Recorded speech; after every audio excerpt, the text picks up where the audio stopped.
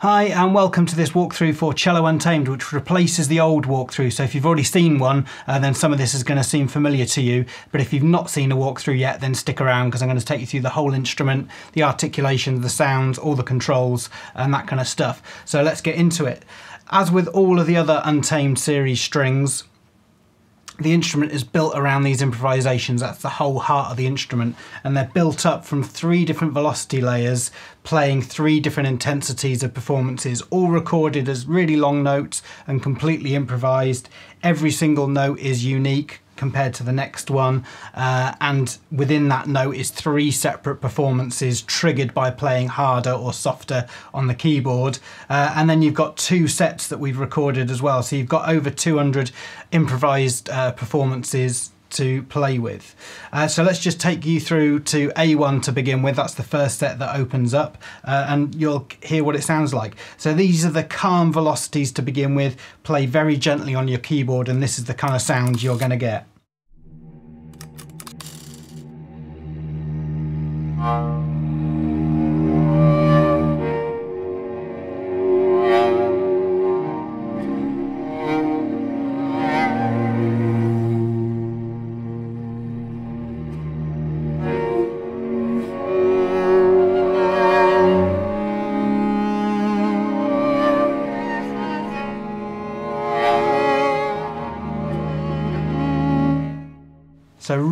Gentle, like really flautando sounding, sort of like some harmonics creeping in there like just this really gentle sound. Now if I just play a little bit harder on my keyboard now, you're going to trigger the next sort of like set of performances that we recorded. Uh, and this is what that sounds like.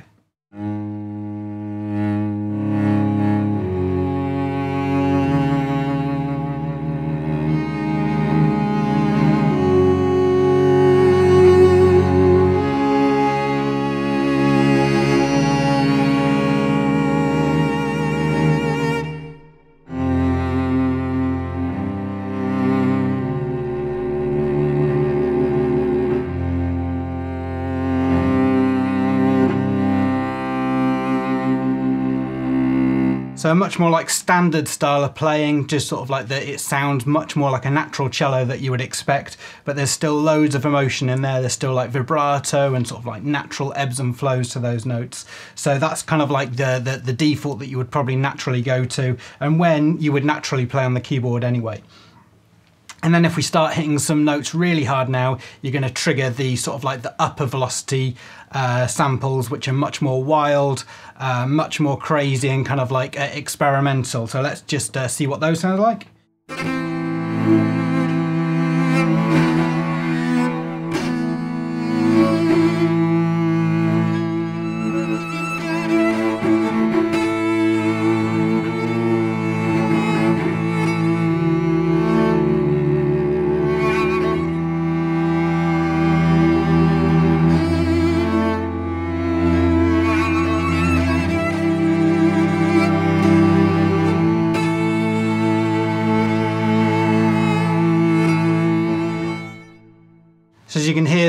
Much more emotion in there, much more sort of like big peaks and troughs of the performance of the natural dynamics that we recorded.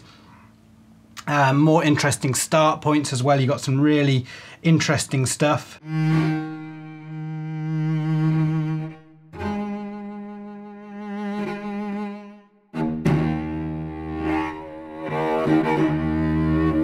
So where you just need to like accent a certain part of the performance, that's when you would trigger those higher velocities to get something really sort of like cutting uh, and in your face. It's really, really interesting. So with the improvisations, you've got two sets, A and B, and those are completely different samples from each other. They're new performances. Again, every single note is, is different to the last. And then within each one of those notes, you've got those three different layers of performances. And the difference is that with A2 and B2 is we've just chosen a new start time within that sample. So it feels like a new uh, feels like a new sample and gives you just a, a, different start and a different feeling to that uh, performance.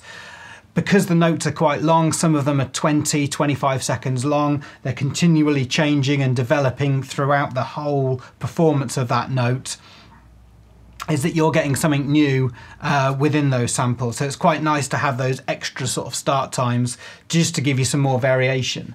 So if I play A1 first and then A2, you'll just get an idea of, of what that sounds like.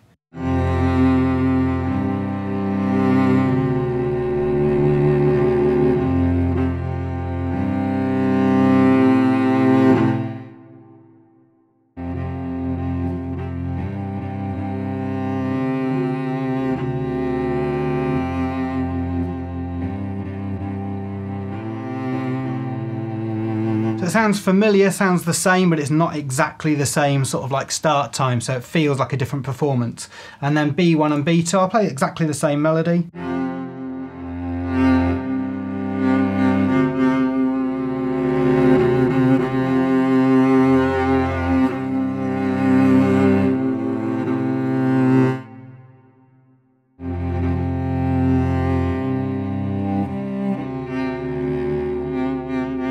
Just sounds a little bit different and stops your ears becoming tired. And then that's where you've got these improvisations round robin at the end, which is basically going to cycle through those four sets. So if you've got a repeating phrase like that, then it's not going to trigger the same sample every single time, and it's just going to make the performance seem a little bit more realistic and a bit more lively.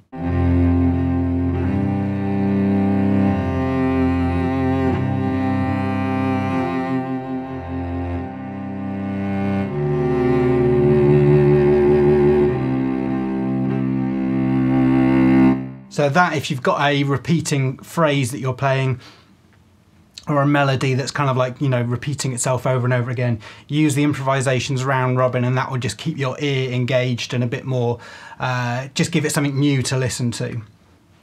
So I'm going to play some of these other uh, improvisations now just so you've got an idea of what they sound like over the keyboard.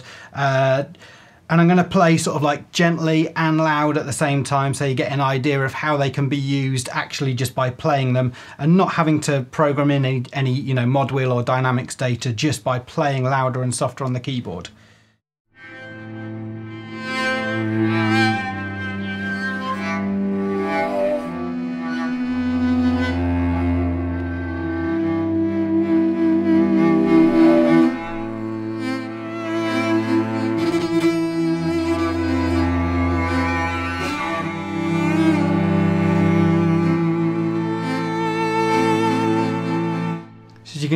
Sort of like playing louder and softer, you're getting some completely different performances and you're just feeling your way through the performance as well. When you want something more emotional, more passionate and more like sort of like dynamic, then hit the keyboard harder and that's what you're gonna get. Uh, the other cool thing to do with these is just to layer them up. So you just hold down shift and click any of these articulations on the interface and you'll be able to play th those together. So two together is nice.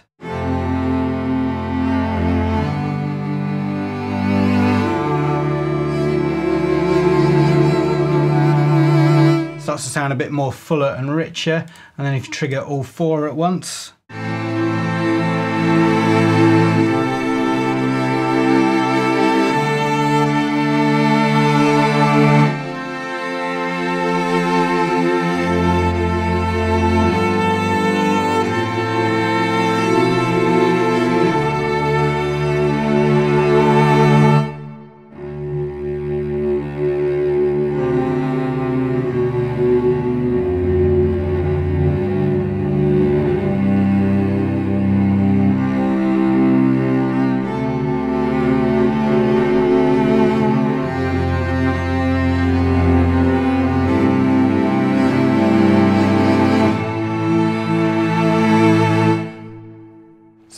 really sounds like there's four different cellos playing all at the same time.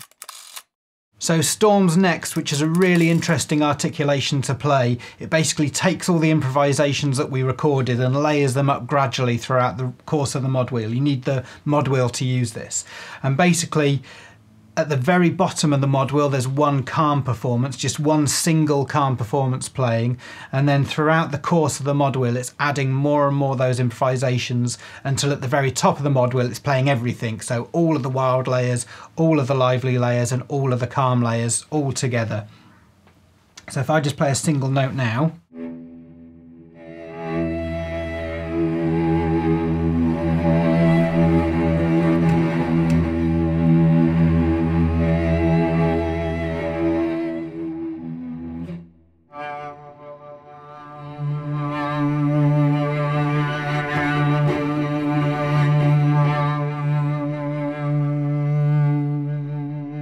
So you can hear it starting to get thicker and more angry as you push that mod wheel up. If I just play a little uh, piece now so you can sort of understand it a bit more in context.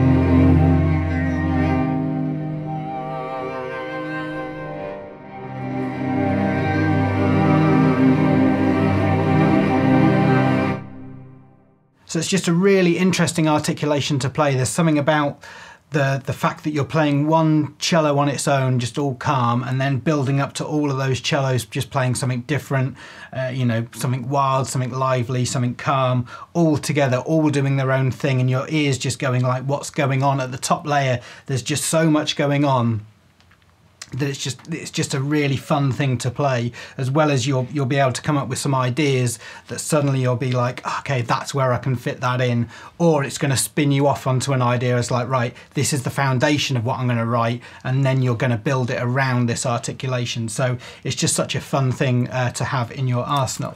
So onto the more traditional articulations along the bottom starting off with just normale which is just like kind of standard long notes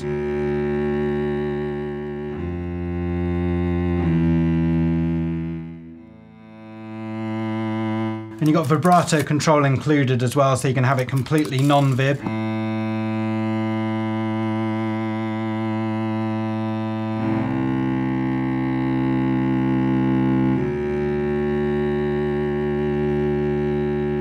It's quite a gradual vibrato as well, so it doesn't just kick in straight away. It sort of like naturally builds into that rich vibrato that we've got. Uh, flautando as well.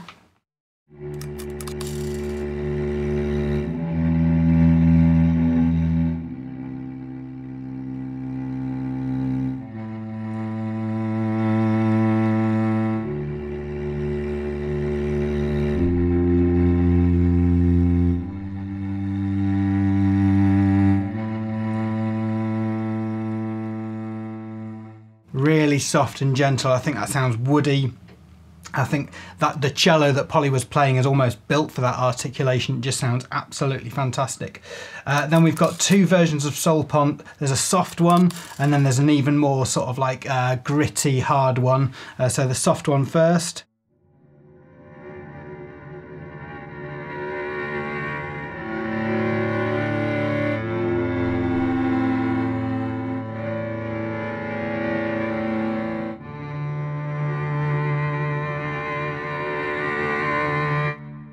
So that's Sul Pont soft, and then we've got this grit one as well, which is even more aggressive.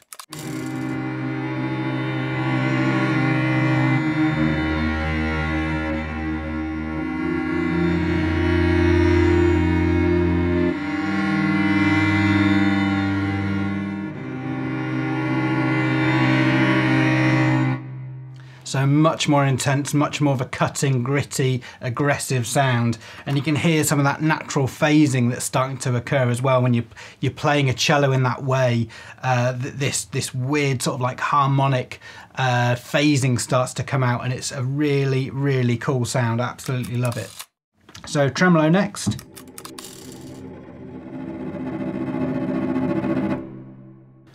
And that's such a tense sound at the bottom there. It gets a bit faster and a bit more frantic towards the top end as you naturally ride through those dynamics. And there's also like a, a really nice off sound to the note as well. When we were recording these, we got Polly to perform a bit more of like an actual performed end to the note rather than just, you know, if you play tremolo typically you can just stop the note and the whole thing dies down but with these you can hear it here there's like a, a, much more of like a performed ending to the note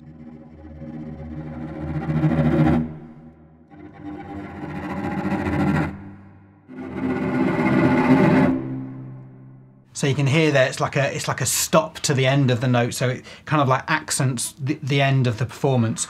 So it's just really cool that we've got that. So circular bowing next, which you've also got on the violin and the viola, but I think it sounds really different on the cello. And for those of you that don't know, it's basically like that kind of motion on the strings. So you're getting like this swishing sound effect at the same time as like the, the note coming in and out as well as, as, you know, the bow resonates with the string. So this is what it sounds like.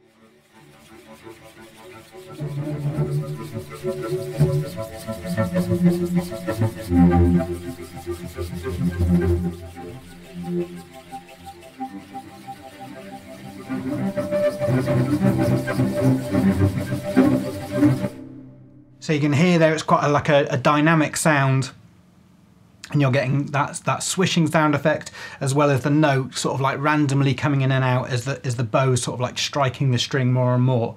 Uh, and it gets more it gets faster and more frantic and a, a, bit more aggressive as you hit the top of the mod wheel and it's much more gentle at the bottom as the as the two samples crossfade between each other and what you'll find with this circular bowing, especially more on the cello than on the other two, is that it's quite a dynamic signal.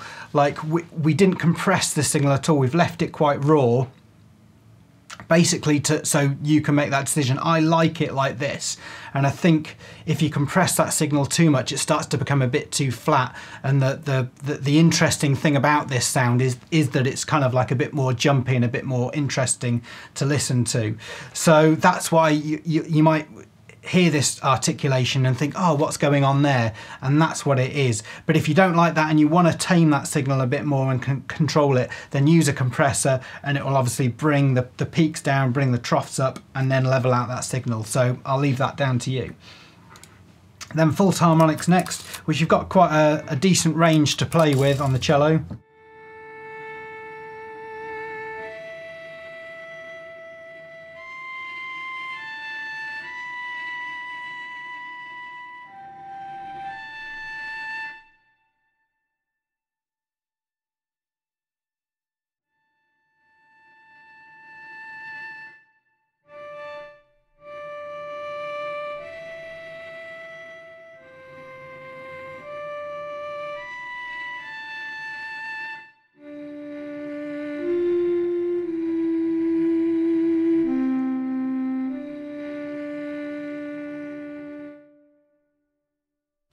Nice flute-like sound to that uh, articulation. It's really great. It sounds great on the cello as well.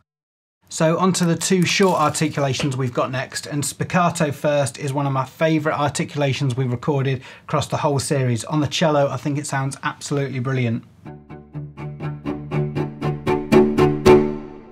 There's something really dynamic we've recorded. I think it's just the, the natural sound of the cello, what you can achieve on that compared to the others, between really soft and then really being able to dig in to those notes is, is really, really nice.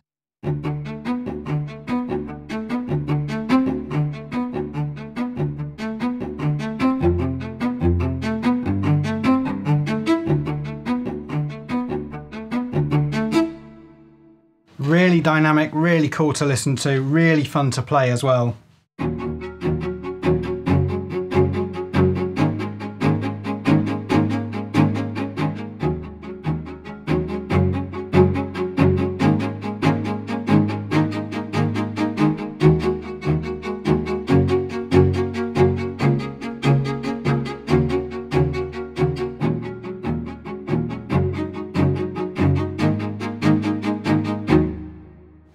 Really cool. Then we've got pizzicato.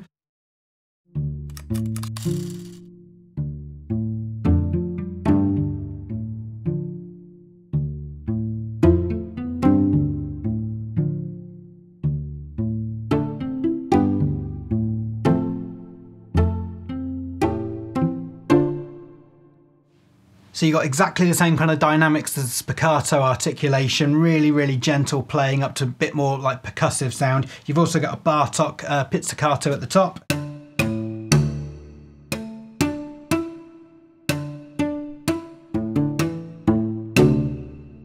Really like snappy sound effect. So with the two short note articulations, you've got these controls up here which affect how the sound actually sounds, how it performs. You've got attack, tightness and release. And attack is obviously how quickly that note reaches its full volume.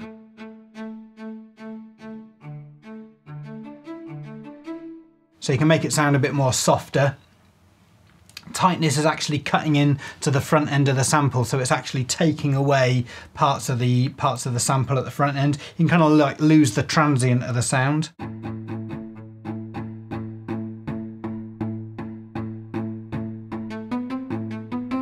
So if you wanted to make it like a really tight sound compared to that kind of thing and then you've also got release as well uh, which is quite useful really. On the on the spiccato I'll keep it on. You can make it like a really tight, if you've got like a particular like fast passage of music, it kind of like cuts into that end of the sample and like brings it brings it a lot more more realistic to how it would be. But then if you also like hold the note down, it still plays the full release of the sample.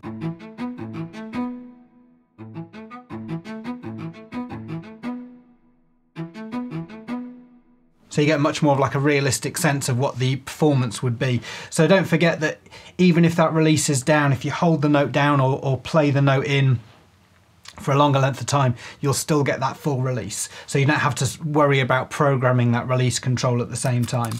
So onto the glue layers next, which is basically a sine wave recorded to tape, and it's there as a trick that a lot of people use to basically fill in the bottom end of the signal of a, of a string section.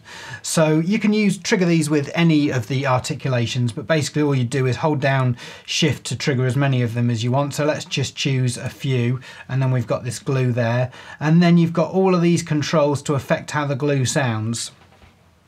So it's playing exactly that. This one here is playing exactly the same pitch as the note that you're playing.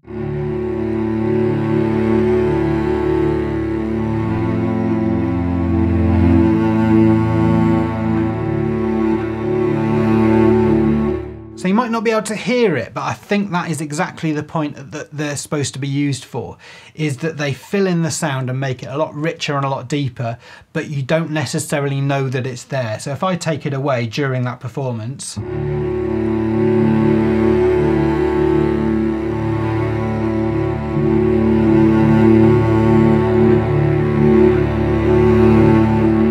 can kind of feel that it's gone and that's exactly how I like to use them.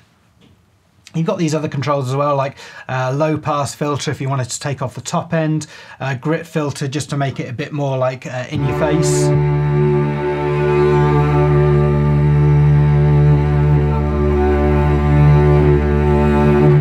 And then the attack and release of that sound, as well as this pulse control, which I find really useful, which just adds like this natural sort of like pulsating sound.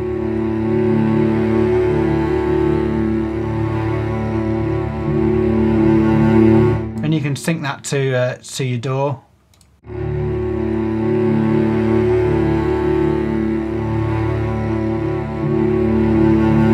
just so it creates a bit more of like a, natural ebb and flow to it. And then you've got this glue 8VB, so if I trigger that as well, and that's playing the same sine wave, but an octave lower, so it's much, much deeper and richer sound. Just take the volume down a little bit, otherwise it might be a bit too loud.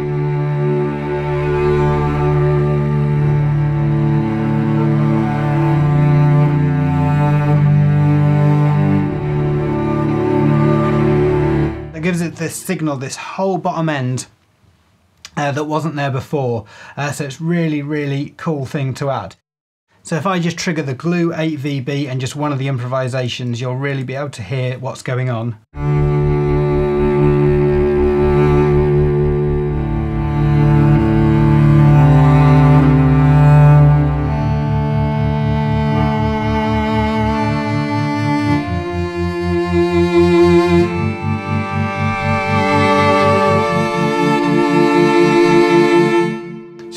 Way too much, in my opinion anyway, but it's there that if you wanted to use it, you can just use it on its own if you wanted to, if you just needed to play that kind of thing.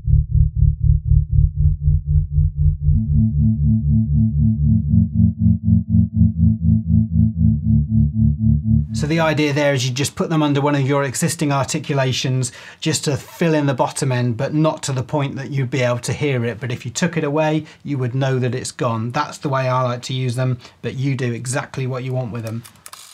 So microphone positions next, and I've chosen Spiccato because that does the best job of showing off uh, the microphone positions.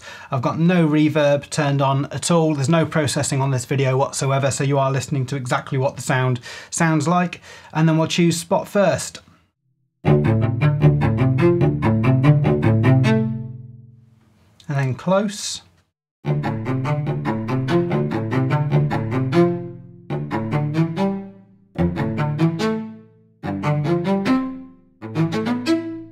And the difference between the spot and the close is much more pronounced on the cello and the bass than it is on the violin and the viola, purely because of the physical distance that the microphones are allowed to be and also with the violin and the viola you know those those performers need a bit more room to maneuver and a bit more you know like uh, space to operate in.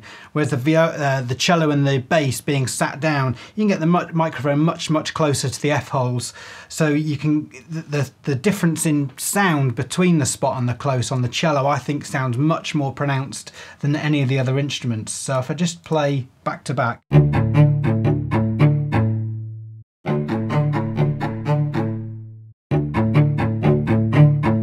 spot is really dry and really close and hyper detailed. It's a U47 microphone really well paired microphone to the sound of the cello uh, and the close being a KM184 is like a classic uh, small condenser microphone quite you know overhead of the cello it's you know it's a really really good pairing to blend those two together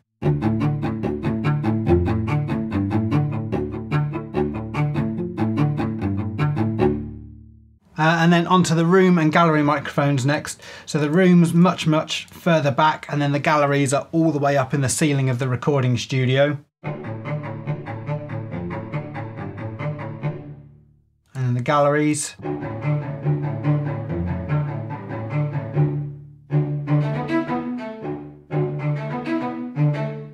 So the galleries you probably wouldn't use much on their own. It's much better to blend those two microphone positions uh, in with these uh, other microphones as well. So there's no right or wrong answer to this. It's just like whatever suits your personal preference. Something like that sounds pretty good.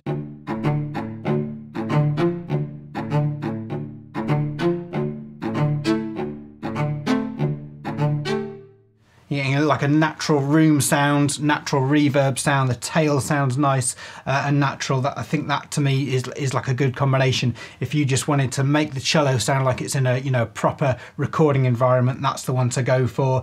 If you wanted it to sound really ultra detailed, really precise, really dry put the spot all the way to the ceiling and then maybe add a bit of the close microphone in and that's where that's where you'll be happy.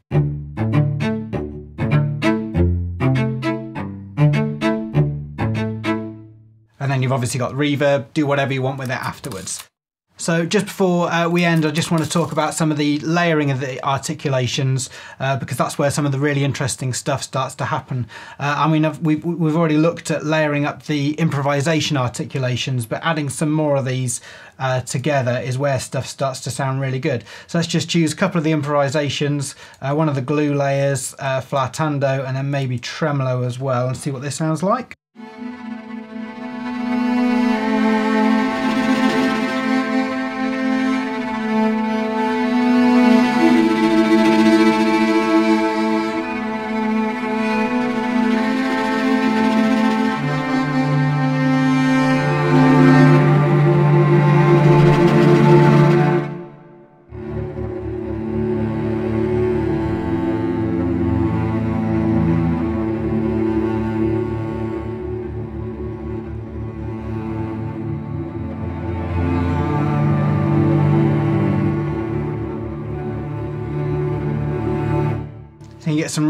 Interesting textures that you won't have heard before. So let's try circular and tremolo work together quite nicely on their own.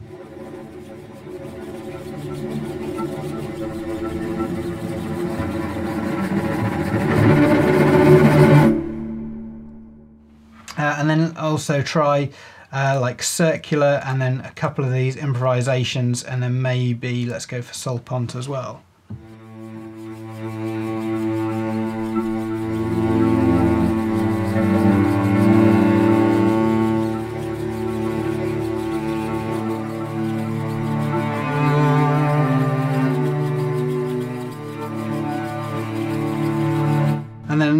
Really like at the moment is Storms and Tremolo and then the Glues as well.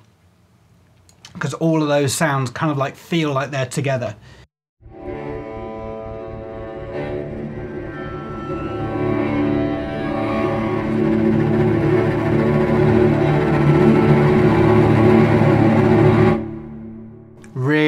Good like you know if you want to accentuate the storms and get some real depth and body going in there that combination i found is is one of my favorites as well. Uh, so that's it like experiment with those articulations and, and putting some together and then if you want even more control, obviously you can split them up in your tracks and your DAW and start panning them and, you know, affecting the volumes and all those kind of things. Uh, but just to get you started and to get some sort of like, you know, inspiration going, like, you know, what, what sounds have I never heard before? Let's try and come up with a, a unique sound for this particular, you know, score or piece of music that you're trying to create. Then just quickly you can work around and come up with something that's, you know, you won't have heard before. So that's it from me. If there's something really specific you want to know or something you really want to dive deep on the detail on, then let us know in the comments and we'll get back to you as soon as I can. But I'm really pleased we've done the uh, updated walkthrough for the update of the cello because the between now and the original release of the cello, there's loads more features and a lot more functionality that we've added uh, to make this instrument really stand out. And lots of you have been asking, like, can we see what this thing is capable of? Can you give us a new walkthrough? Well, here it is, uh, and I hope you've enjoyed it. So apart from that, hope you're all well. Uh, we'll see you on the next one. Take care.